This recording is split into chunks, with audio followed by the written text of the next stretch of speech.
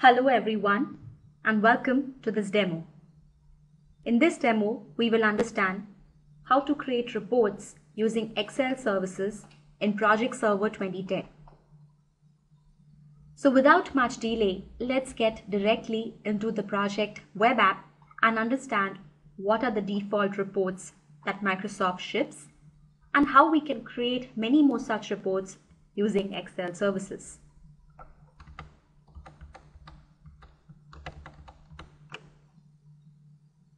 So what you see here is the project web app homepage.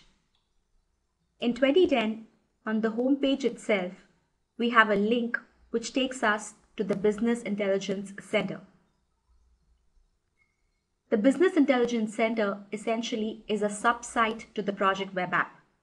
So if you look at the URL, it's easy to understand that many more such Business Intelligence Center sites can be created.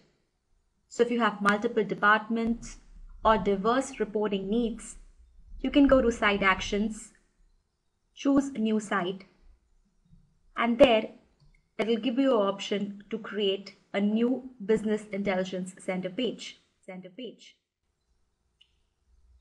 Currently, we work with the default Business Intelligence Center.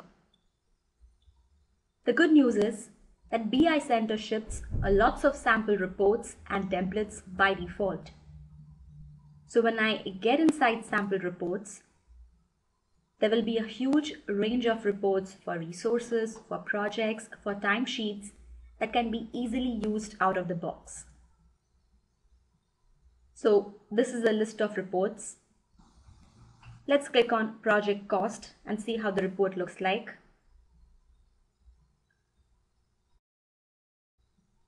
So when I click on project cost, it is rendering the report using Excel services for us. This report, based on departments, is trying to compare actual cost, baseline cost, and cost value. Apart from these reports which you just saw, the sample reports, we also have additional folder for templates created. When I get inside the templates folder, these are the default templates and you will also have a separate template created for all the OLAP cube. So let's understand using one of these templates how we can create a new report and then how we can render that report using Excel services. I'm going to use the timesheet template. So as the name suggests, template is going to be a blank file with pre-connection established to the database. So this is a blank pivot table report that you can see here, which is connected to the project server database. And that's how all the field list information is seen here. Just build up a report. I will add billable actual work into the value zone. Let's compare it with the planned work. So this was the total billable work and this was the sum of planned work. I would like to break it down further by resource name. So I will add resource name to the row area. Now this report is comparing billable work versus sum of planned work. To make it more interesting, I will sort the billable work from largest to smallest value. So this will give me an indication which resource gave me maximum amount of billability in this particular zone. It also tells me which resource did not contribute much. To make it a little more interesting, I will also break it down by the timesheet line classification. So I will add timesheet line classification into the report filter area. Currently, this gives me a report for all types of classification. I can choose administrative and see how many users reported administrative work. In this case, I have only two users. Likewise, I can also see vacation time and the standard reported time. Let's also add the period start date into the given report. So I will choose period start date and add it to the row area. This will tell me each resource, respective dates for that resource and the reported time. This is good, but I would like to break up this report and see the time reported only based on quarters or maybe months or maybe years. So for the time being, I will remove resource name. So this tells me on a particular day, how much was the time reported, billable time reported, and how much was the planned work. Because these are dates, I can easily group them based on months, quarters, and years. So now this gives me a completely different report where I can compare billable work versus planned work based on quarters and based on months. Now if I would like to combine the two, let me create another pivot table here. So I'll go to options and I will choose select entire pivot table. Let me copy this and let me paste it here. So I have two similar looking pivot tables here. In the second pivot table, I will remove quarters and I will remove the period start date. And instead of the dates, I'll put resource name there. So I get to see two different reports in one single page.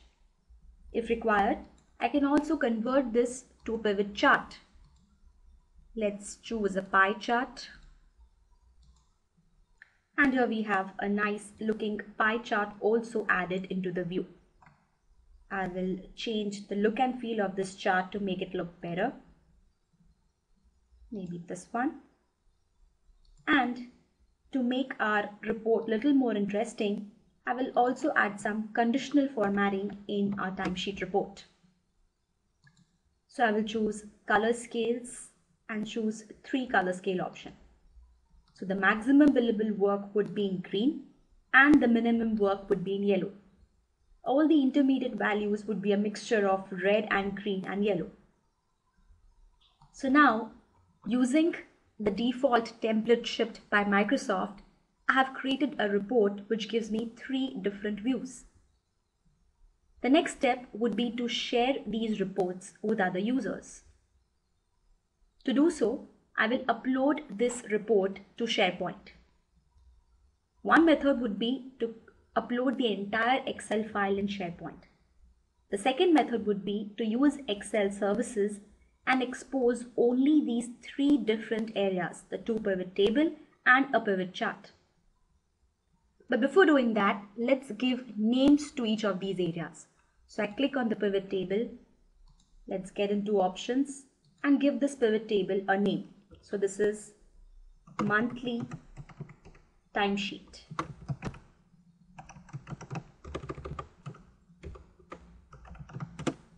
Likewise, I click on my second pivot table and give it a name.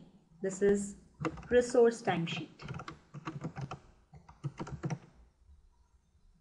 Finally, I will also give a name to this pivot chart. Let's call it resource chart. That's all.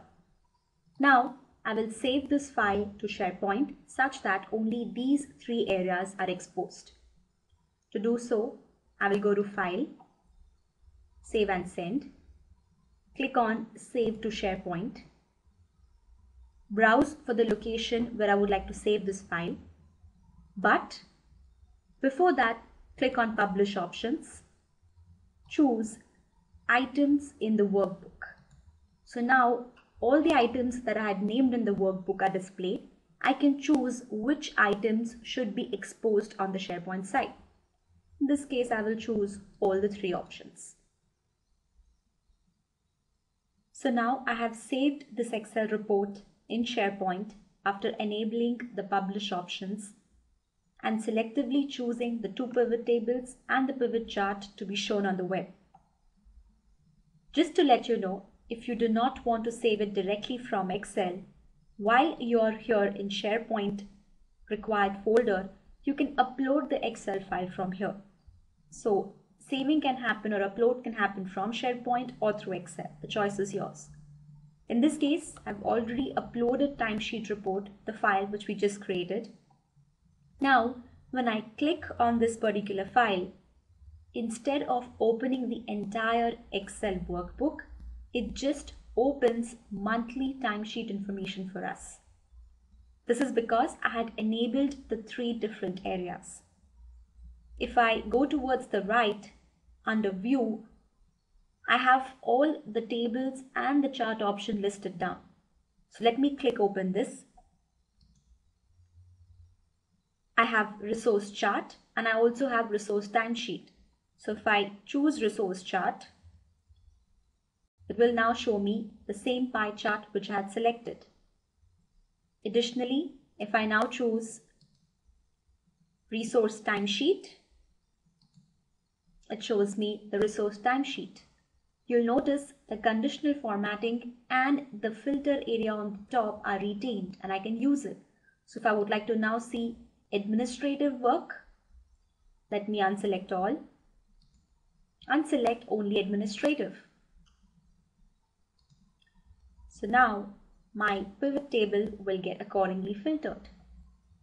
So interactivity remains and the reports are rendered on the web using Excel services. So we get best of both worlds. So this was a small demo of how you can create reports. Now that you know Excel services, you know how reports and project can be created, the two can be combined together and very good looking dashboards and reports can be created. So in Project Server 2010, the data analysis view no longer exists because it's not required. You use Excel, use project, use pivot table and have reports at your disposal. So just to quickly take you through the advantages of Excel services, reports are very easy to build up and share because most of the users are familiar with Excel. You need not require IT or additional development or coding to create reports. Any end user project manager can create such reports. Because reports are created in Excel, you can analyze it, slice and dice it, drill down further, and have a better understanding of your business data. Also, reports are now available on web and can also be edited on web. So the destination machine need not require to have Excel loaded. They can view the report on web. So this is what I had to cover as part of Excel services. Hope you liked the demo and found it useful. If you have any further questions or would like to know more about Project Server 2010 Excel services, please feel free to email me at manmeet.chaudhari at advisorcom.com. Thank you.